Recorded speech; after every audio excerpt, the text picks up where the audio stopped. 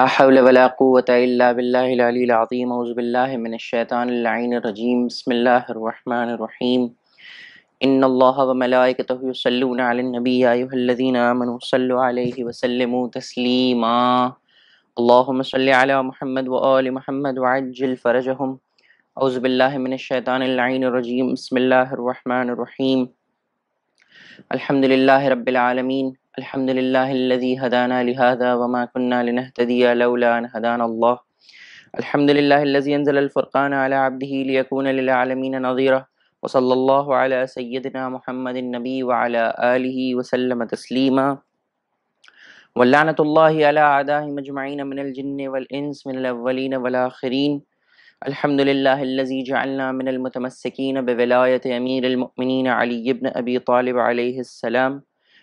तालिब अलैहिस्सलाम रबिशहली सदरी वयसरली अमरी वहलुक़दम लिसानी यफ़क़हु क़ौली बसमीम वलीकलहजत इब्न हसन सलवातुक अलैहि व अला आबाए फ़ी हाज़िहि अस्साअति व फ़ी कुल्लि साअह वलिया व हाफ़िज़ा व क़ाइदा व नासिरा व दलीला व आइना हत्ता तुस्किनहु अर्ज़क़त व आवतमत्तियहु फ़ीहा तवीला अल्लाहुम्म सल्लि अला मुहम्मद व आलि मुहम्मद व अज्जिल फ़रजहुम अम्मा बाद क़ौलल्लाहु तबारक व तआला फ़ी क़ुरआनिल मजीद बिस्मिल्लाहिर रहमानिर रहीम हुवल्लज़ी अरसल रसूलहु बिल हुदा व दीनिल हक़ लियुज़हिरहु अलद्दीन कुल्लिहि वलौ करिहल मुशरिकून सदक़ल्लाहुल अलील अज़ीम सलवात अल्लाहुम्मा सल्लि अला मुहम्मद व आलि मुहम्मद व अज्जिल फ़रजहुम Respected brothers and sisters, Assalamu alaikum wa rahmatullah. Thank you very much for joining.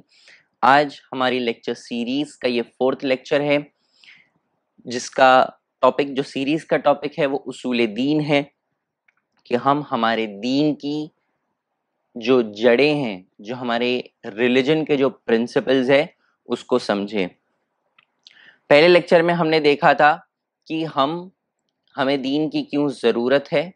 Why do we need religion एक रिलीजन एक इंसान की ज़िंदगी में क्या रोल प्ले करता है?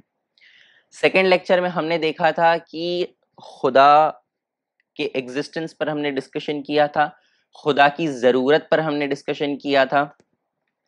खुदा का हमारी ज़िंदगी में क्या रोल होता है हमने वो डिस्कशन किया था। कल के लेक्चर में हमने जो हमारा लेक्चर अदल पे हुआ था, हमने डिस्कशन किया था कि क्यों अल्लाह का आदिल होना ज़रूरी है, इस्लाम में जस्टिस और इक्वालिटी के बीच में क्या डिफरेंस है साथ साथ हमने देखा था कि इस्लाम में अल्लाह के अदालत पर दो तरीके के कौन से ग्रुप्स बने, यानी कि मुतज़िला और अशायरा, और जो फ़िक़ जाफरिया है यकीनन, वो तो अम्र बैन अमरैन है, छठे इमाम इमाम जाफ़र सदक वसलम महमद महमद की हदीस के मुताबिक। उसी को कंटिन्यू करते हुए, जो हमारा नेक्स्ट टॉपिक जो आज का है जो है नबूवत, यानी कि प्रॉफिटहुड अगर आपको याद हो तो मैंने अदल के डिस्कशन में कहा था कि अदल बेस बनता है कि अल्लाह नबियों को भेजे, क्योंकि अल्लाह आदिल है, अल्लाह जस्ट है। अल्लाह नहीं चाहता कि कयामत के दिन जब हिसाब किताब होगा तो लोग कहेंगे, हमें कोई गाइड करने वाला ही नहीं था, कोई होता तो यकीनन हम जो है, तेरी इबादत करते इसीलिए, क्योंकि अल्लाह आदिल है, अल्लाह जस्ट है, इसीलिए उसने जो है नबियों को भेजा। जिस आयत की मैंने तिलावत की, वो सूरह तौबा की, आयत नंबर 33 है, सूरह नंबर 9 आयत नंबर 33 कुरान मजीद की, कि अल्लाह फरमाता है, बिस्मिल्लाहिर्रहमानिर्रहीम वल्लज़ी अरसल रसूलहु बिलहुदा व दीनिल हक़ लियुज़हिरहु अलद्दीन कुल्लिह, वलौ करिहल मुशरिकून। आइए इसका ट्रांसलेशन देखते हैं। ट्रांसलेशन ये है it is he who has sent his apostle with guidance वो है हुवल्लजी ये वो है। अरसल रसूल जिसने रसूलों को भेजा। व दीन हक गाइडेंस के साथ और दीन हक के साथ। ताकि लोग जो है दीन हक लेज़हरहु दीन कुल्ल ताकि वो सारे जो है, दीनों पर जो है, गालिब हो जाए। वलव करहल मुशरकून, चाहे जो है, जो मुशरकिन है, वो जो है, इसे नापसंद करें। तो ये क्लियर है कि अल्लाह ने एक चेन ऑफ़ प्रॉफिट्स भेजा है, जो हमें गाइड करने के लिए यहाँ पर आए हैं। अब सबसे पहले डिस्कशन में यह आता है कि क्या हमें सच में प्रॉफिट्स की ज़रूरत है? इस्लाम में एक डिस्कशन आता है जिसे हम कहते हैं आलम अरवाह यानी वो आलम जहाँ पे हमारी सारी रूह रूह जो होती है हमारे जिस्म के अंदर, जिससे हमारी साँसें चलती है, जो हमारी सोल जिसे कहते हैं, वो जो है आलम अरवाह में सारी रूहें एक साथ में थी। और भी डिस्कशन है, आलम जर है, और भी है। तो रवायतों में है कि इन पैदाइश के पहले इन आलम अरवा आलम जर में जो है, अल्लाह ने अपनी वहदानियत, रसूलुल्लाह की रिसालत और अमीर अमीरमिन इमाम अली इब्न अबी तालिब वसलाम की विलायत की हमें बताया था, हमसे उसकी जो है ताकीद ली गई थी। लेकिन जब इस दुनिया में लोग आए, शैतान का वादा था कि वो लोगों को जो है सही रास्ते से भटकाएगा। जब उसको जन्नत से निकाला गया तो अल्लाह से उसने कहा कि मैं जो है सिरात मुस्तकीम पर बैठकर लोगों को जो है सिरात मुस्तकीम से दूर करूँगा, सही रास्ते से दूर करूँगा। और शैतान ने अपने वादे को कंप्लीट किया और आज तक करा और इस वजह से वो जो है लोगों को जो है अल्लाह की तरफ़ से जो है दूर करता था। तो यकीनन एक टीचर की ज़रूरत थी, एक गाइड की ज़रूरत थी एक नुमाइंदे की ज़रूरत थी, एक रिप्रेजेंटेटिव की ज़रूरत थी जो अल्लाह की तरफ़ से आए और जहाँ पर लोग भटक रहे हैं, जहाँ पर लोग डिविएट हो रहे हैं, वहाँ से लोगों को वापस दीन इस्लाम की तरफ़, अल्लाह की तरफ़ वापस ले आए। इसीलिए प्रॉफिट्स का होना बहुत ज़रूरी है। अब अल्लाह ने क्या एक प्रॉफिट भेजे? नहीं। दो प्रॉफिट भेजे? नहीं। अल्लाह ने एक लाख चौबीस हज़ार प्रॉफिट्स भेजे। One lakh twenty four thousand prophets भेजे। कुछ प्रॉफिट सेम टाइम पे जो है सेम एरिया में थे। कुछ प्रॉफिट्स अलग अलग टाइम पे थे। कुछ प्रॉफिट्स एक ही वक्त पर दो अलग अलग एरिया में थे। जैसे फॉर एग्जांपल जनाब यूसुफ और जनाब याकूब। जनाब यूसुफ इजिप्ट में थे, जनाब याकूब जो है, कनान में थे राइट या जो है, या जनाब ईसा और जनाब जकरिया।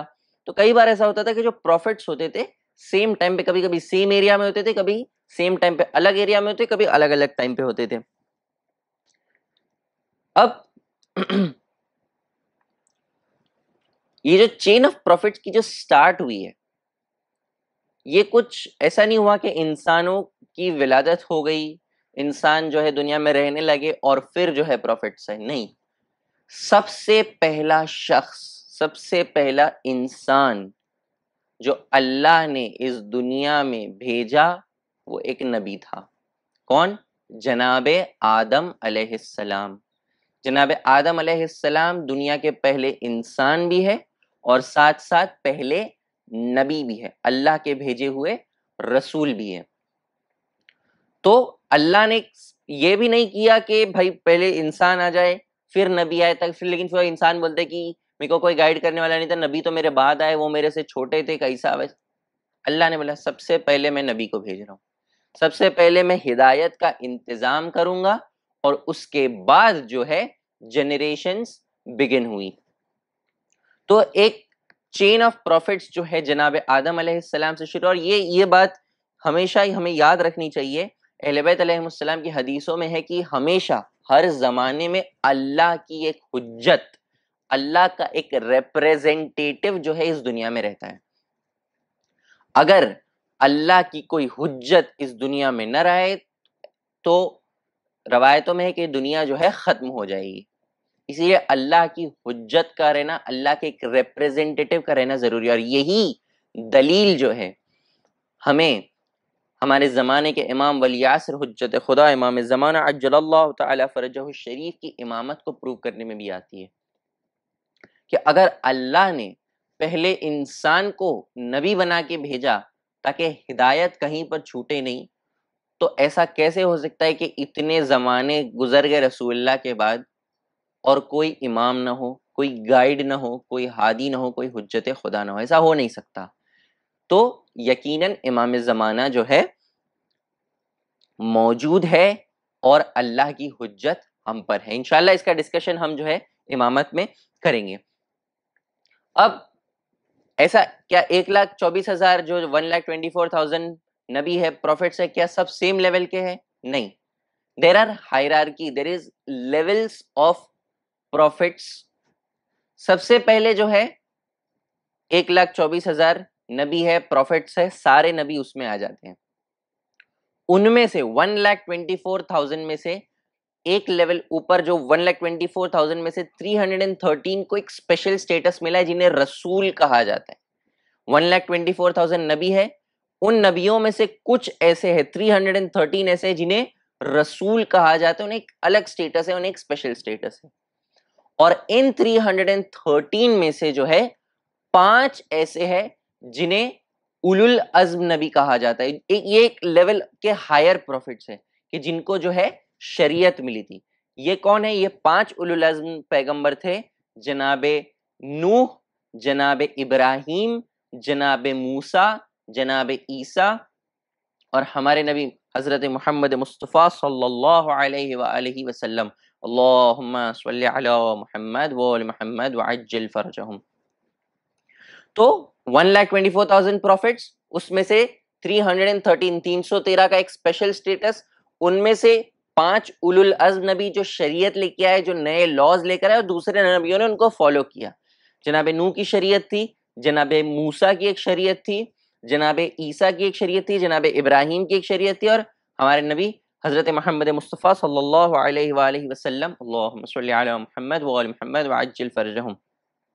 का दीन इस्लाम था। तो एक चीज़ यहाँ पर ये पॉइंट ध्यान रखना है कि जो हिदायत का जो सोर्स हुआ है, जो हिदायत की स्टार्ट हुई है, और जो दीन इस्लाम की स्टार्ट हुई है, वो रसूलुल्लाह मोहम्मद सल्लल्लाहु अलैहि वसल्लम से नहीं, बल्कि जनाब आदम अलैहिस्सलाम से शुरू हुई है। हर जमाने में नमाज़ रही है, हर जमाने में रोजा रहा है, हर जमाने में हज रहा है, हर जमाने में अल्लाह की इबादत हुई है जनाब आदम से लेकर अब तक। शरीयतों में थोड़े बहुत चेंजेस होते थे, कभी रकातें कम होती थी, कभी जो वट जो भी है इनशाला किसी और दिन इस डिस्कशन पे जाएँगे। तो इस्लाम की शुरुआत रसूलुल्लाह से नहीं हुई, बल्कि जनाब आदम से हुई। अल्लाह की हिदायत जनाब आदम से शुरू हुई और हज़रत मोहम्मद मुस्तफ़ा सल्लल्लाहु अलैहि वसल्लम पर यह हिदायत, ये जो है नॉलेज कंप्लीट हुआ है। पहले लेक्चर में देखा था कि जैसे ही अमीरुल मोमिनीन इमाम अली इब्न अबी तालिब अलैहिस्सलाम की विलायत का ऐलान हुआ अनाउंसमेंट हुआ, गदीर में अल्लाह ने कहा, अलियम अकमल तलकुम दीनकुम व अतमम अलैकुम निअमती व रजीत लकुम इस्लाम दीना. आज के दिन जो है, हमने इस दीन को कंप्लीट किया और हमारी नेमतों को, हमारी ब्लेसिंग्स को इस पर कंप्लीट किया, तमाम किया, व रजीत लकुम इस्लाम दीना, और हम इस दीन इस्लाम से जो है, राज़ी है। तो जब जनाब नू थे, तब जनाब नू की शरीयत चली, फिर जनाब इब्राहिम की शरीयत चली। उसके बाद जनाब इब्राहिम से जनाब इस्माइल की जो लिनियज थी, वहाँ पे जनाब इब्राहिम का दीन हनीफ चला, जिसमें रसूलुल्लाह सल्लल्लाहु अलैहि वसल्लम के वालिद जो फादर थे उनके उनके ग्रैंड फादर उनके दादा जो थे, उनके परदादा और जो ऊपर हायरार की थी, वो कभी जो है शिरक नहीं करते थे। अल्लाह के अलावा उन्होंने किसी को खुदा नहीं माना है। वो जो है जनाब इब्राहिम सलाम के दीन हनीफ पर थे। और जनाब इसहाक से जो लाइन चली, उनके जो दूसरे बेटे थे, जिसमें जनाब याकूब, जनाब यूसुफ आए, और बाद में जो है जनाब मूसा और जनाब ईसा सलाम आए तो एक तरफ़ दीन हनीफ चल रहा था जनाब इब्राहिम का, और दूसरी तरफ़ जो है जनाब मूसा जब आए तो उनकी शरीयत आई, और जनाब ईसा जब आए तो जनाब मूसा की शरीयत हट गई, और जनाब ईसा की शरीयत आई। और आखिर में जब हज़रत मोहम्मद मुस्तफ़ा सल्लल्लाहु अलैहि वसल्लम आए तो सारी पुरानी शरीयतें जो है आउटडेट हो गई, चली गई और दीन इस्लाम जो है, कयामत तक के लिए अल्लाह का दीन बन गया। अब ये क्यों हुआ? क्योंकि जनाब मूसा के जाने के बाद लोगों ने उनकी शरीयत में चेंजेस की, उनकी शरीयत में डिस्टोशंस की, इसलिए अल्लाह ने जनाब ईसा को भेजा। जनाब ईसा के जाने के बाद लोगों ने जनाब ईसा के दीन में चेंजेस किए डिस्टोशंस किए, उस वजह से जो है जनाब ईसा का जो है, जो शरीयत थी वो भी कंप्लीट हुई और आखिर में हमारे नबी हज़रत मोहम्मद मुस्तफ़ा सल्लल्लाहु अलैहि वसल्लम की जो है दीन इस्लाम सब पर जो है गालिब हुआ। अब हम चेन ऑफ़ प्रॉफिट्स डिस्कस कर रहे थे। One lakh twenty four thousand थे, उसमें से थ्री हंड्रेड एंड थर्टीन उसमें से फाइव और उनमें से एक हमारे नबी हज़रत मोहम्मद मुस्तफ़ा सल्लल्लाहु वसल्लम जो है, सैयदुल मुरसलीन है, यानी जितने रसूल है, जितने नबी है, उन सब के जो है, सरदार है, उन सब के लीडर है हमारे नबी हज़रत मोहम्मद मुस्तफ़ा सल्लल्लाहु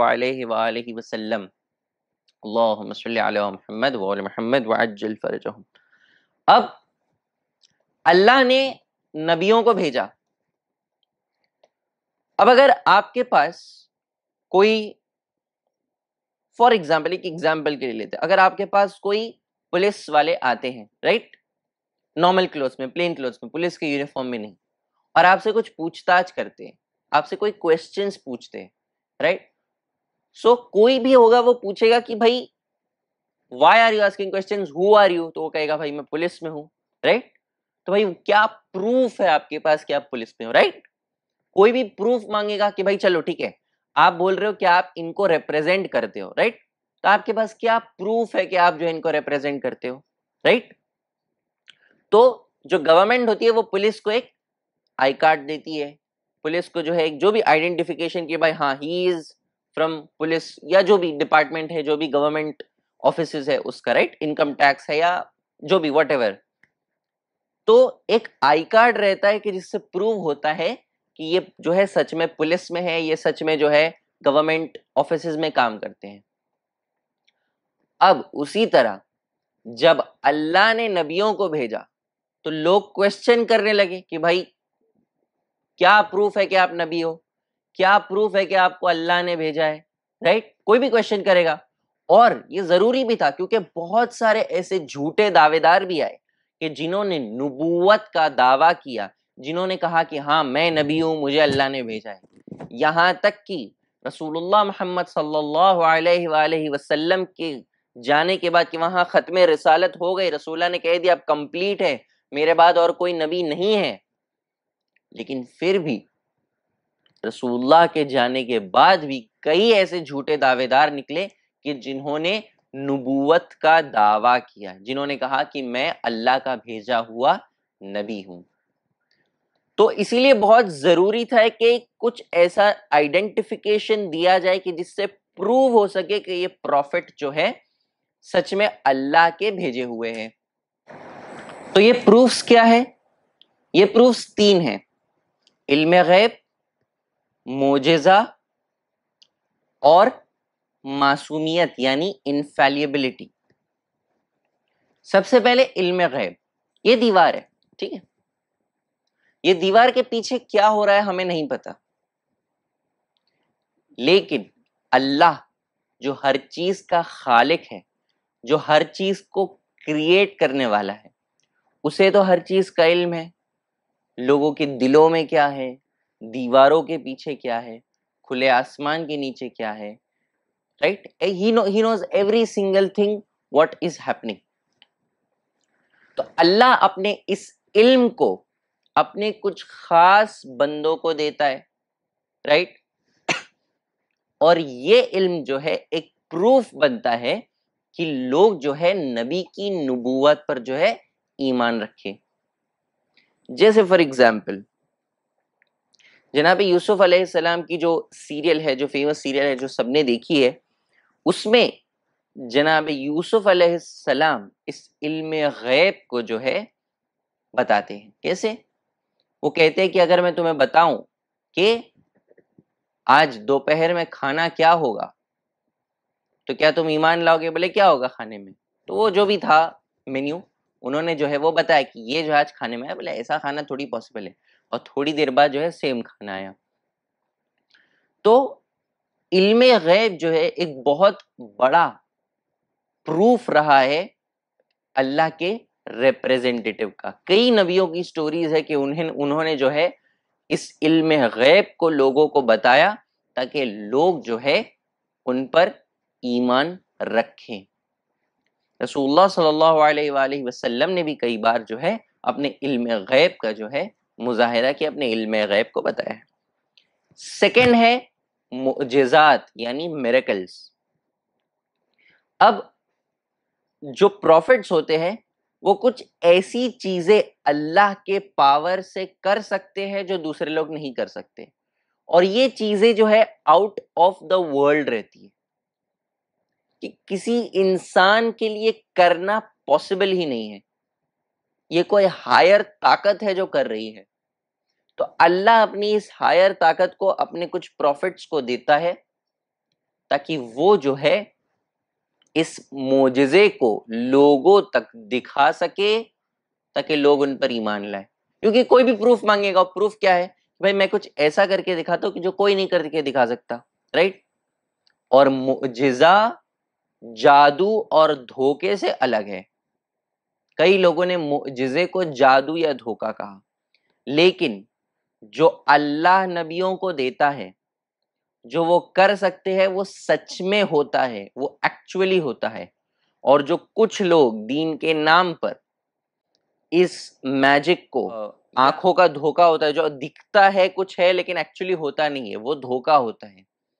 लेकिन जो अल्लाह नबियों को देता है वो मोजिजा होता है वो मेरेकल्स होते हैं। यानी वो सच में हुआ है। जैसे अल्लाह ने जनाब मूसा को मोजेजा दिया कि उनका जो असा था, उनकी जो स्टिक थी, वो सांप बन सकती थी।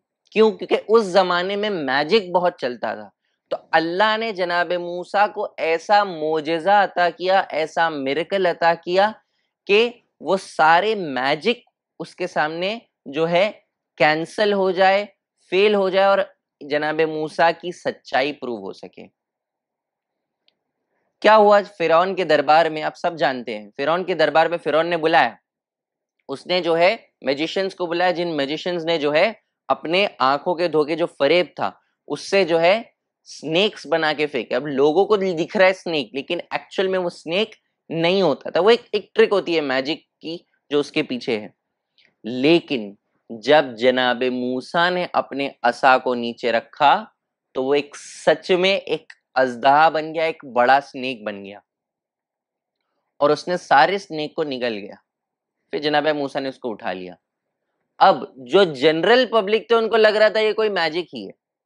लेकिन जो मैजिशियंस थे, जिन्होंने उन नकली सांपों को बनाया था, वो जानते थे कि उनका जो मैजिक है, वो आँखों का धोखा है, वो ट्रिक है। लेकिन जनाब मूसा का जो असा है, जो स्टिक है उनकी, वो सच में सांप बना था। और इसीलिए कुरान मजीद में स्टोरी है कि ये जो मैजिशियंस थे।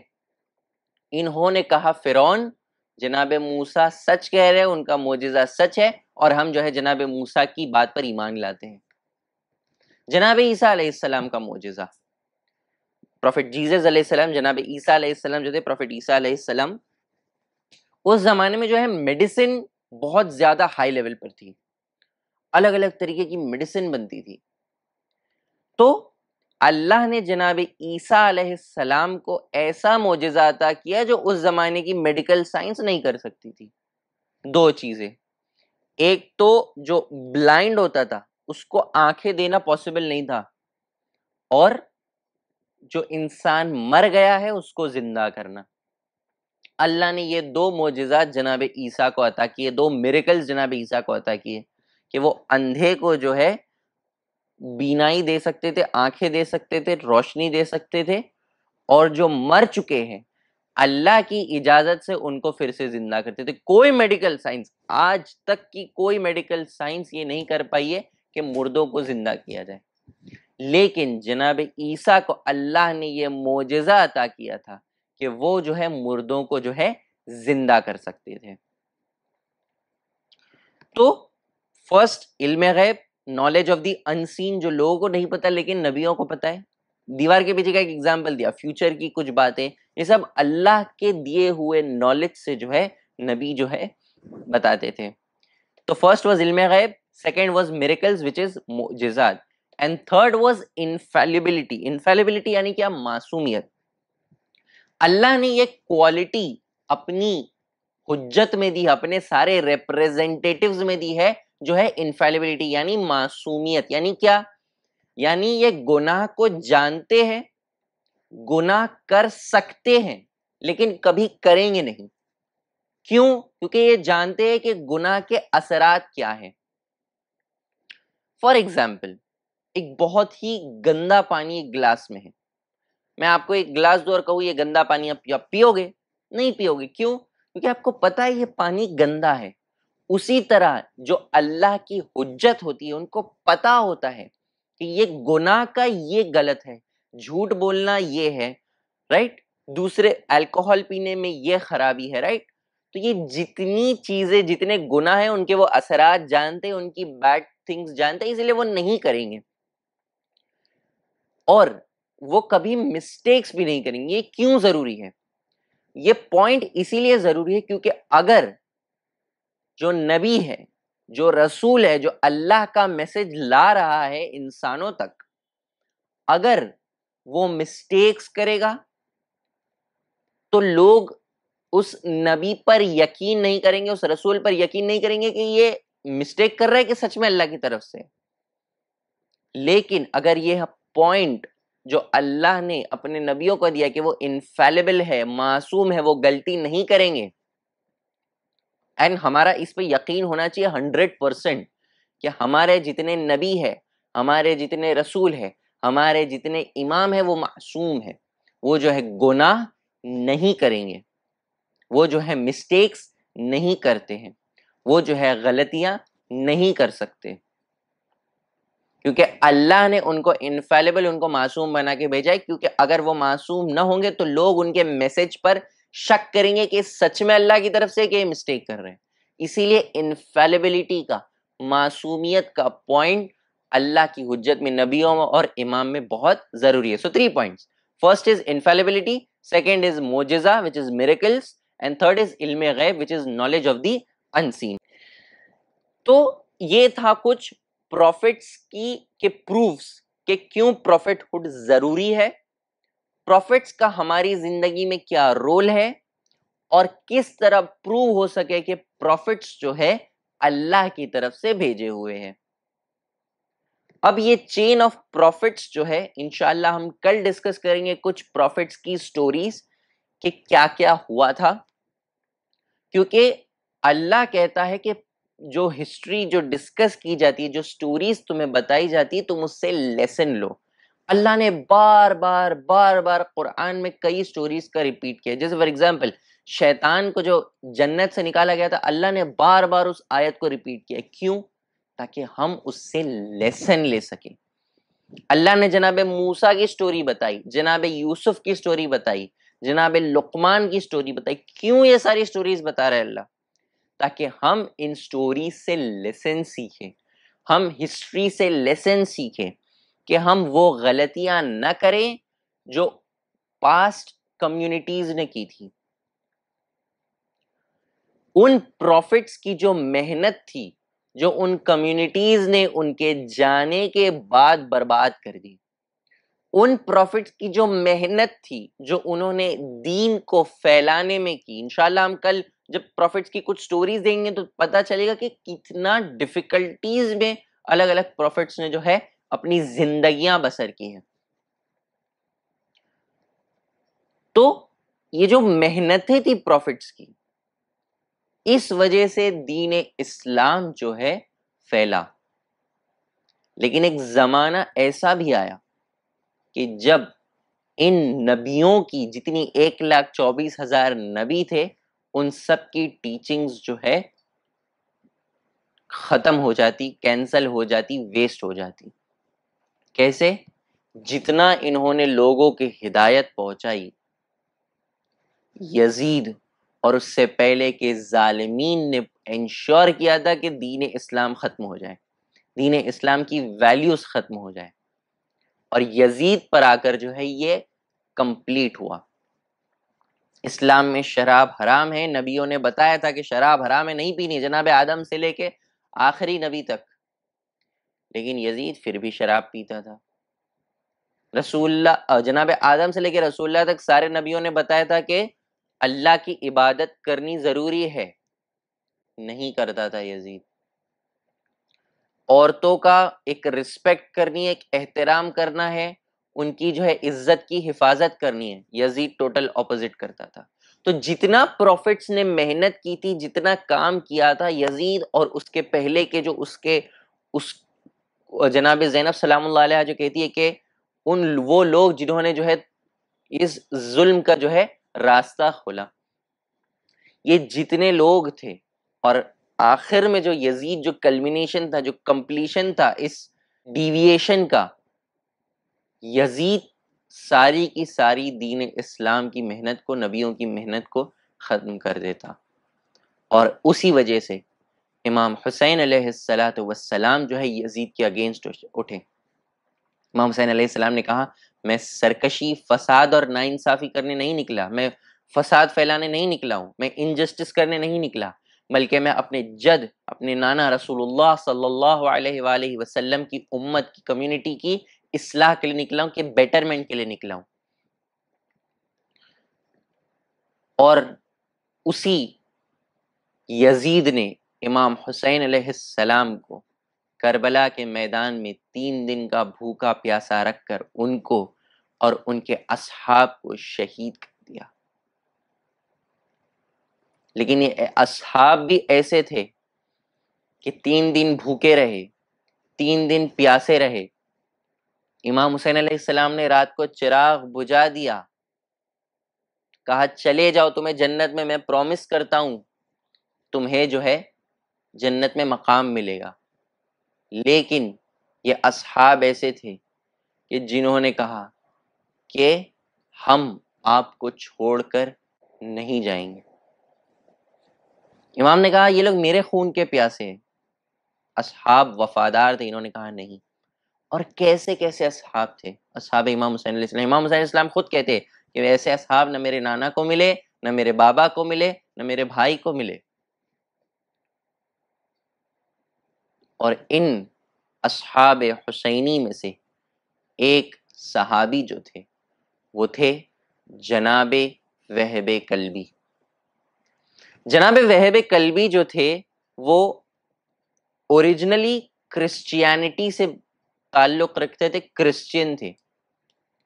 जब इमाम हुसैन सलाम मक्के से करबला का सफ़र कर रहे थे तो रास्ते में जनाब वहब से उनकी मुलाकात हुई।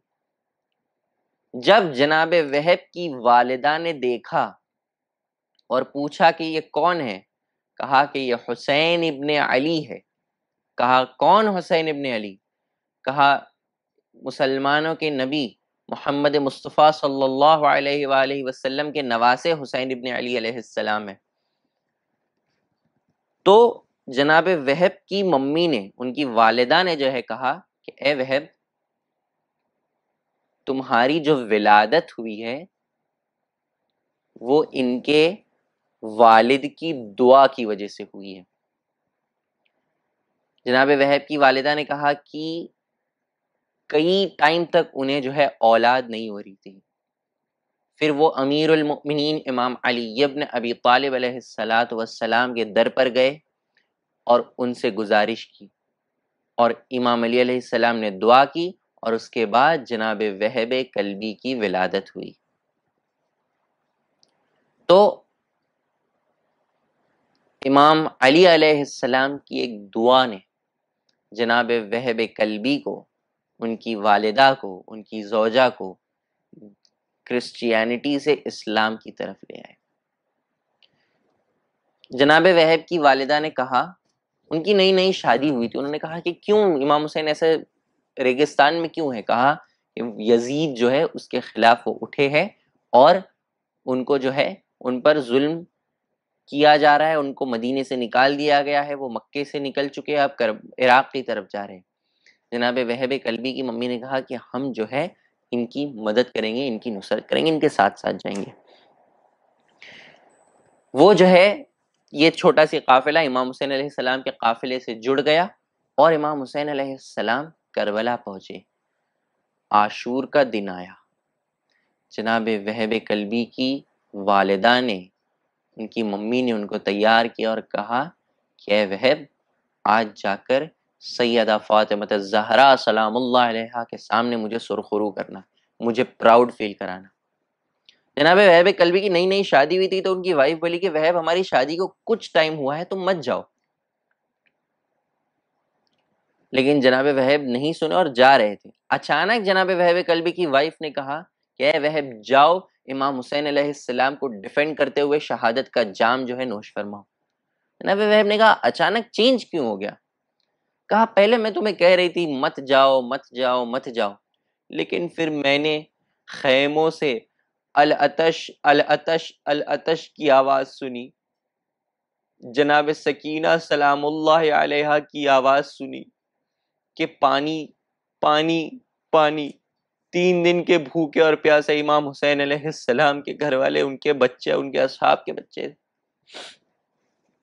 जनाब वहब से उनकी वाइफ ने कहा, एक शर्त पर जो है, मैं तुम्हें जाने दूँगी। कहा, क्या? कि तुम इमाम हुसैन सलाम से ये वादा लो कि जो तुम मुझे इस दुनिया में न दे सके, वो तुम मुझे आखिरत में दोगे। आखिरत में भी तुम मेरे जो है, मेरे शरीक रहोगे। इमाम हुसैन सलाम ने कहा, मैं जो है सैद शबाब अहल जन्ना हूँ। मैं जो है ये वादा करता हूँ कि वहब जो है जन्नत में भी तुम्हारे साथ होंगे। जनाब वहब कलबी निकले, उन्होंने जो है बहुत बहादुरी से जंग लड़ी। आखिरकार शिमर इब्न जोशन ने जो है उनके सर को काट कर जो है फेंका और उनकी माँ के लिए भेज दिया। जनाब वहब कलबी ने जो है, की वालदा ने जो है, उनके सर को वापस लिया और यजीदी आर्मी को वापस दे दिया और कहा कि हम जो है, जो एक बार अहलबैत की राह में दे देते, उसे वापस नहीं लेते। मेरा बेटा इमाम हुसैन सलाम को डिफेंड करते हुए जो है, इस दुनिया से कहा जाएगा। मैं कहूँगा, ए वह कलबी की वालिदा, आपने अपने फर्जंद को यकीनन शहादत के दर्जे पर पहुँचा दिया। आपने यकीनन अपने फर्जंद को इमाम हुसैन सलाम के दिफा में पहुँचा दिया। लेकिन असर आशूर जब इमाम हुसैन सलाम यको तनहा होंगे और सदा लगाएँगे नासिरिन यंसुरना है कोई जो मेरी मदद करने वाला तब जनाब वहब की बॉडी यकीनन जो है तड़प रही होगी, सारे असहाब की बॉडी तड़प रही होगी। कि ए इमाम हुसैन सलाम, हम तो तैयार है। लेकिन मौत ने जो है हमें मजबूर कर दिया।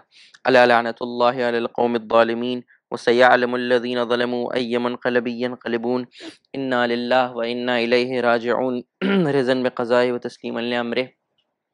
परवरदिगारा मसाइब इमाम हुसैन सलाम का वास्ता वली आसर हजत खुदा इमाम ज़मान अजल्ला फ़रज शरीफ के जहूर में ताजील फरमा। हम सबको इमाम सलाम के नासरीन में शुमार फरमा। ए मेरे परवरदिगार, इस पेंडमिक को, इस बीमारी को दुनिया से ख़त्म कर दे ताकि हम उसी तरह इमाम हुसैन सलाम की आज़ादारी कर सके उसी शान शौकत के साथ जिस तरह पहले किया करते थे। हमारे ईमान को सलामत रख, हम सबको नेक तोफ़ी दे के हम अहल बैतम के मैसेज को पहुँचा सकें। जिन जिन को रिस्क का प्रॉब्लम है, उनके रिस्क के दरवाजे खोल दे। जो जो जो जो हाजात लेकर आए, उन सब की हलाल हाजतों को उनके हक़ में पूरा फरमा। इमाम ज़मान के जहूर में ताजील फरमा और हम सबको उनके नासरीन में शुमार फरमा। इन कल शाम पाँच बजे फिर से हम मिलेंगे और नबूवत पार्ट टू में हम नबियों की स्टोरीज़ देखेंगे कि अल्लाह ने जो नबी भेजे, उनकी स्टोरीज़ क्या थी, उनकी ज़िंदगियाँ कैसी गुजरी और उनसे हम क्या लेसन सीख सकते हैं। इन कल फिर मिलेंगे। Thank you very much for joining